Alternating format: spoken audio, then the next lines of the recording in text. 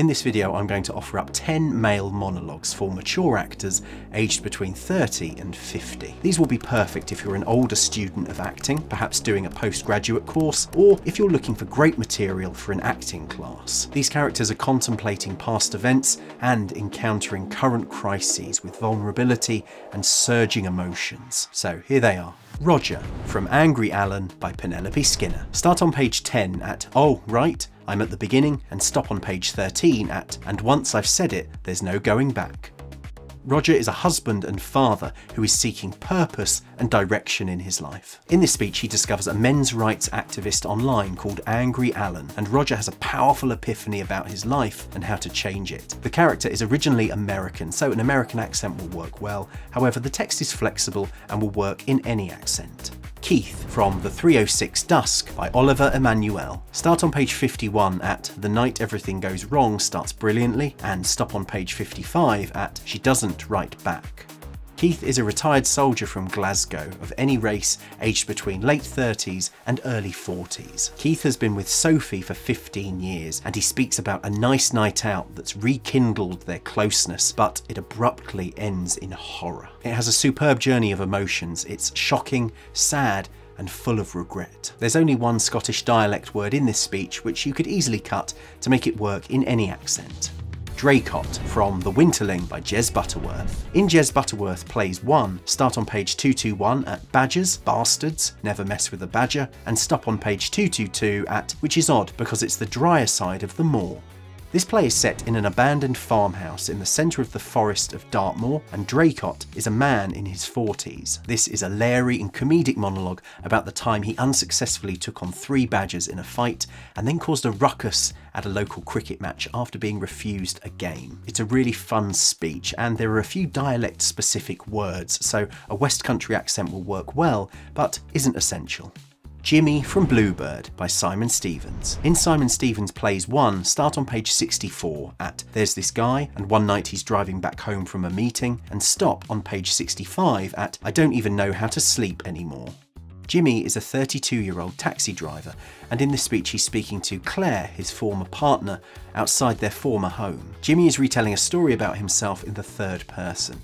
It's about a harrowing accident that he caused when drunk driving. It's an immense speech full of grief, regret, and agonising pain. Cut out Claire's tiny six interjections to make the monologue work. Michael from Marine Parade by Simon Stephens. In Simon Stephens Plays 3, start on page 174 at I've been thinking about Emma all week and stop on page 175 at I only just realised.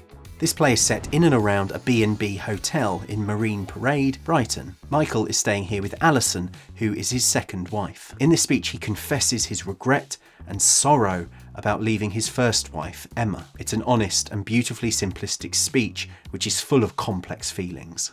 Ariel from The Pillowman by Martin McDonagh. Start on page 77 at I'll tell you what there is about me, and stop on page 78 at So I can connect you to this battery. Ariel is a volatile and disturbed detective who is interrogating a man called Katurian. Katurian is a suspected child murderer, and in this speech, Ariel lets rip about what he really thinks of him. This is a semi rehearsed bad cop speech, and it's brutal, blunt, and imperious. Sebastian from Borders by Henry Naylor. Start on page 16 at I'm 21, fresh out of uni, and stop on page 17 at his name, Osama bin Laden. Sebastian is a photojournalist, and here he's recalling his first big break where he meets John Messenger and is offered a job that will change his life forever. It's a casual and conversational speech with the opportunity for some lovely multi rolling between Sebastian's voice and John Messenger's voice.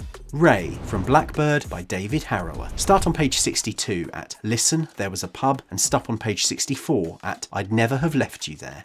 Ray and Una had a relationship 15 years ago, and in this speech, Ray is recounting the dramatic night that they ran away together. Una has told her version of events from that night, and now Ray is telling his side. It's a brilliantly tense story. It's fast, frantic, and filled with fear, panic, and pain.